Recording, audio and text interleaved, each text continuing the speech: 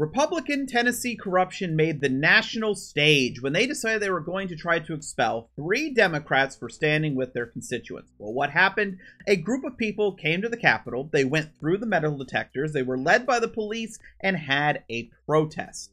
Now, when they had the protest, the three Democrats joined them, and many Republicans decided to compare this to January 6 and call it an insurrection go watch some videos and compare what happened in Tennessee to January 6th. There's a clear difference. Now, they wanted to expel two black men and a white woman, and with this being Tennessee, I'm sure you're not shocked to find out they did not expel the white woman, but did expel the two black men. And I can already imagine some of you are going to the comments right now. You're just insinuating they're racist with no evidence. No, there's previous incidents where they also were trying to take action against black men because they wanted things like them not to wear clothing that the white people didn't like, even though there wasn't a dress code, and the dress code that does exist didn't forbid them from wearing it, things like that. But you might say, well, hey, maybe they expel all the time for small things. Well, they didn't expel a lawmaker who admitted to touching children, and they didn't expel a lawmaker where there was a whole thing involving his cousin mistress and drugs. So, you know, not really the case here.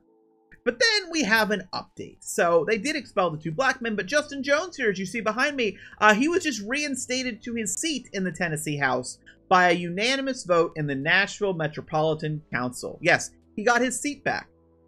So Republicans just drew attention to things like the cousin mistress and the racism and had absolutely no win. And of course, if you haven't been paying attention to Tennessee politics, you might not have seen that these councils that can reinstate these people, they have been threatened actually by some Republicans that funding will be taken from the state, that they simply won't give them funding for their city and the state won't be giving it to them if they reinstate these people.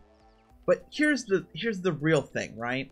If the if the councils didn't reinstate them and it went to an election, they're going to win re-election because what they did was for their constituents and arguably just supporting what their people want gun control.